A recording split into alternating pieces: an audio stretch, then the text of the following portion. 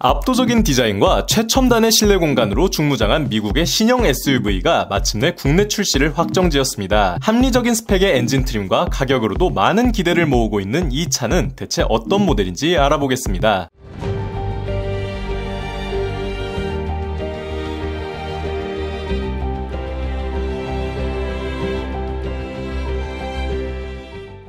국제적인 수요에 따라 SUV만을 생산하게 된 링컨은 내비게이터, 에비에이터 등을 필두로 프리미엄 SUV 시장을 공략하는 미국의 자동차 브랜드입니다. 1922년 포드 모터 컴퍼니에 인수된 후 캐딜락과 함께 고급차의 쌍두마차로 발전해온 링컨의 대표작에는 바로 노틸러스가 있는데요. 지난 2006년 출시된 중형 크로스오버 MKX의 후속작이며 2019년에 facelift와 함께 MK 작명법을 버렸습니다. 동시에 노틸러스라는 새 이름을 받았지만 사실 국내 실적 성적은 그리 좋지 못했죠. 하지만 이번 full change는 다릅니다. 인터넷을 뜨겁게 달구며 긍정적인 평가가 줄을 잇는 새로워진 노틸러스의 업데이트된 소식을 알려드리겠습니다. 첫 번째 특징 디자인입니다. 동명의 원자력 잠수함인 USS 노틸러스에서 볼 수 있는 웅장하고 긴 차체와 Zephyr Reflection Concept에서 선보인 차세대 디자인 요소들이 시선을 사로잡죠. full change 이전보다 무려 8cm나 길어진 4907mm의 전장으로 준대형에 버금가는 사이즈를 자랑하며 실 실제로 1930mm의 모하비와 비슷한 모습을 보여줍니다. 전면부에선 새로 적용된 디자인의 그릴과 헤드램프가 눈에 띄는데 과거 split wing face의 스포티함과 이전 세대의 재규어를 닮은 차분한 그릴의 장점만 섞어놓은 듯하네요. 한층 웅장해진 그릴에는 high glossy 격자 그래픽이 우아하게 자리 잡았고 빛이 들어오는 로고를 중심으로 좌우로 길게 뻗어지는 DRL은 matrix LED 헤드램프와 이어져 재치있고 차체를 더욱 넓어 보이게 합니다. 부드럽게 흘러가는 DRL의 그래픽이 우아하면서도 역동적이네요. G90의 후드를 닮은 듯한 유사 clamshell 후드 디자인으로 완성도를 끌어올렸고 Z 패키지에선 비행기 날개를 닮은 디자인의 스포티한 범퍼가 Black Label trim에선 크롬바가 강조된 고급스러운 범퍼가 장착되어 큰 차별화를 줍니다. 측면 역시 압도적인데 같은 차급의 QM6와 비교해보면 전고는 비슷하지만 전장이 20cm 이상 더 긴데요. 덕분에 비교적 낮고 날렵해 보이는 실루엣을 보여줍니다. 광활한 후드와 모조리 검게 칠해진 벨트 beltline 상단부가 이를 더욱 부각시켜주네요. 또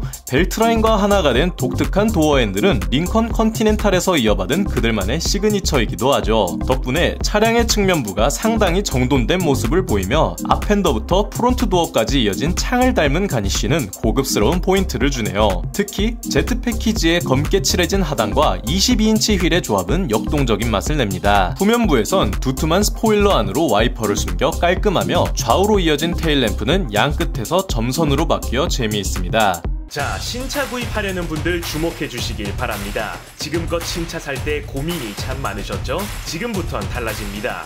이제 단 한 번의 견적 신청으로 최대 20명의 딜러 견적을 받는 신차 연구소 카랩이 있으니까요.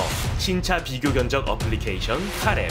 두 번째, 실내입니다. 몰라보게 변한 실내는 들어섬과 동시에 초대형 대시보드 디스플레이와 화려한 UI가 시선을 사로잡는데 23.6인치 와이드 스크린 두 개가 이어진 47.2인치라는 압도적인 디스플레이가 보여주는 welcome ceremony는 구매를 반대하는 사람도 설득시킬 만 하죠. 타원형에 가까운 가로로 길어진 steering wheel은 재미있고 피아노 건반을 따온 기어 selector와 크리스탈 컨트롤 knob은 럭셔리한 맛을 더해줍니다. 다소 뜬금없이 배치된 마름모꼴의 11.1인치 센터 디스플레이에선 전체적인 엔터테인먼트를 컨트롤할 수 있고 더욱 발전된 24방향 시트와 울티마 3D 오디오 시스템을 탑재했습니다. 그리고 5G 네트워크와 OTA, 무선 애플 카플레이와 안드로이드 오토를 지원해 편의성까지 놓치지 않았네요. 2열 공간은 무릎과 headroom 모두 여유로우며 reclining을 지원하고 대형 파노라마 선루프까지 시원합니다. 세 번째 제원입니다. 이제 V6 엔진이 사라져 2.0 가솔린 터보 그리고 하이브리드 엔진으로만 출시되며 가솔린 엔진은 4기통으로 기준으로 253마력과 38kgm의 토크, 하이브리드는 전기 모터와 CVT 변속기가 맞물려 314마력을 발휘하고 리터당 16km에 달하는 복합 연비를 예상하고 있습니다. adaptive suspension과 adaptive cruise control 역시 지원하며 미국 기준 교통 표지판 인식 기능인 링컨 코파일럿 360 비전 2.2가 기본 탑재되는데 국내 수입 사양에도 도입이 될지 기대가 되네요. 마지막 가격 및 출시일입니다. 국내에선 현행보다 상승한 6천만원 중후반대 시작 가격을 예상하며 업계에 따르면 올해 말 출시가 예정되어 있다 전해지네요. 2.0 가솔린 터보 모델을 시작으로 국내에 출시되며 하이브리드는 아직 미정입니다. 현재 일부 딜러사는 가계약을 진행하고 있다 전해지는데 여러분은 이 노틸러스를 어떻게 생각하시나요? 여러분의 의견을 댓글로 남겨주세요. 구독과 좋아요 그리고 알림 설정을 통해 풍부하고 흥미로운 자동차 이야기를 매주 만나보시고 각종 spy shot 제보와 내차 판매, 차량 정보 커뮤니티는 네이버 남차 카페에서 함께 하실 수 있습니다. 페이스북과 인스타그램에서도 남자들의 자동차를 팔로우하시고 최신 정보를 빠르게 받아보세요. 감사합니다.